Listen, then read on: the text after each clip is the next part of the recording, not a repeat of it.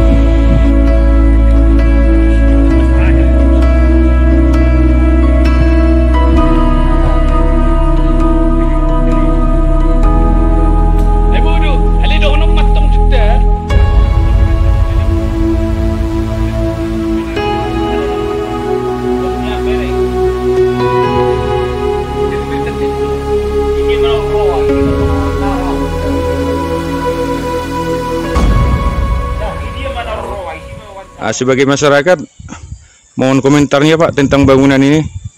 Ya, dari kami masyarakat dampaknya ini tidak ada pak soalnya terlampau mubazir bangunan ini dibuat pemerintah Kabupaten Tapal Utara yang notabene katanya hari itu mau menaikkan income per kapita masyarakat di Sauna Runggu 1 khususnya dalam pariwisata kami dari masyarakat Onarunggu sekitarnya tidak ada menerima dampak positifnya kita lihatlah di lokasi ini sekarang tidak ada yang bisa kami perbuat untuk menambah per kapita kami. Masyarakat untuk perpariwisata pun ke sini nggak ada.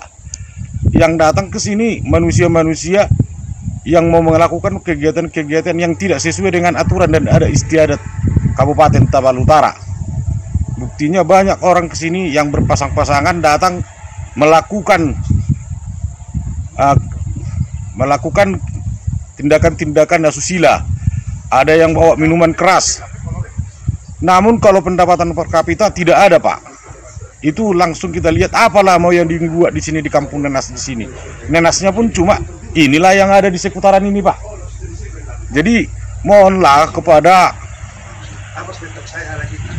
orang Bapak agar bisa me, mempromosikan ini dan melihat daripada banyaknya biaya yang dilaku yang dikucurkan oleh pemerintah ke sini yang tidak ada dampaknya kepada pemerintah agar diaudit sebenarnya apa dan untuk apa tujuan bangunan ini dibuat secara APBD atau APBD provinsi maupun dari APBN pun bantuannya ini agar ditinjau karena tidak ada dampaknya terhadap masyarakat Tapal Utara.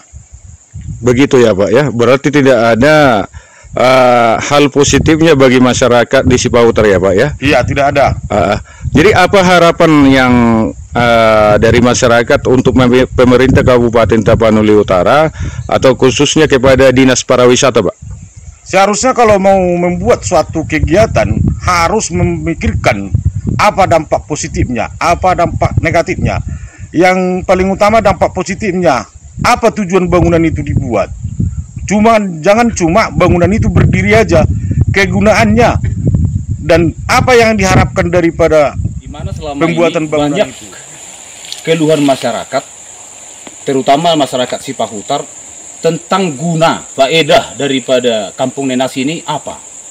Dan yang kedua, beberapa juga rekan-rekan wartawan dari dari organisasi lain ataupun yang berdiri sendiri sudah sering melakukan investigasi ke Kampung Nenas ini tetapi sedikit pun uh, tidak ada uh, rasa empati dari kritikan uh, rekan-rekan jurnalis, rasa empati dari uh, Pemkat Taput.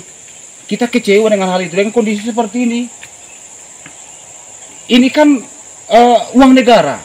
Apa pun ceritanya, ini dibangun atas uang negara. Tetapi perawatannya bisa kita lakukan sendiri. Seperti apa di sini? Kita lihat apa ini, apa fungsinya. Tidak ada sama sekali. Kalau menurut pengamatan kita turun lagi ke lokasi. Itu ada yang rusak itu. Tempat apa namanya, tempat air minum itu, itu rusak. Ditimpa kayu lah, itu semak belukarnya lah. Ya paling apa ya tengok, kita lihat itu. Itu banyak itu rumah-rumah yang dibangun itu tengok berfungsi pun sama sekali tidak. Kita kecewa. Jadi untuk itu maka kita karena banyak aduan kebetulan kemarin ada warga Sipahutar yang mengadu ke kita ya kan? Pak KS Pak Kasiman Junta dia mengatakan itu sangat dia sebagai warga Sipahutar merasa kecewa. Untuk apa gunanya ini? Padahal stand-stand dibangun. Ya kan? Di hutan gurgur ini. Jadi artinya ya kasihan lah duit negara dihabiskan hanya untuk seperti ini tidak ada gunanya. Jadi kita minta kepada Pemkap kepada yang membidangi stakeholder dalam hal ini dinas uh, pariwisata Tolonglah hal ini ditindaklanjuti. Dilihat ini, digunakan. Mau kalau wisata menas ya dibuatlah, diisi, di apa segala macam, diedukasi masyarakat untuk bagaimana berjualan di sini. Baru buat stand-stand pameran di apa reklame di kota itu biar datang ke sini beli nenas. Yang dari luar datang untuk beli nenas saja ke sini, dibuat dong. Ini enggak. Promosi dari dinas kesehatan, dari dinas pariwisata juga tidak ada untuk mempromosikan kampung nenas yang yang signifikan yang nggak ada sehingga orang tidak tahu ini kampung Nenas padahal ini program suatu program unggulan Ya, jadi kita harapkan eh, satu lagi kita minta kepada APH lah, aparat penegak hukum. Tolong jangan diam aja, diusut dong. Ada apa di sini? Ya, ada apa di sini? Kita tidak berandai-andai lah yang negatif-negatif. Kita selalu yang positif. Tapi dengan dibiarkannya ini ala ilalang ilalang semua ini tidak terawat, kita patut menduga ada yang tidak beres di sini. Saya kira itu.